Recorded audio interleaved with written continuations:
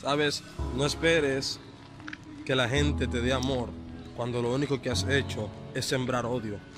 No espere que la gente te dé favores cuando nunca te has propuesto extender la mano para favorecer a otro. No esperes que la gente a ti te entienda cuando tú nunca has sabido entender a nadie. No esperes que la gente sea contigo algo que tú nunca has sido con ellos. La Biblia dice, todo lo que el hombre sembrare, eso mismo segará. Hay gente sembrando odio y esperan cosechar amor.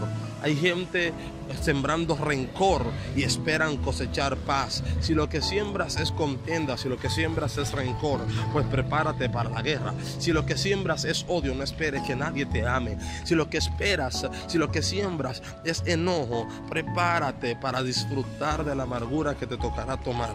Acuérdate de esto, todo lo que el hombre sembrare, eso mismo segará. Comienza a sembrar cosas buenas y te aseguro que vas a cosechar cosas buenas también.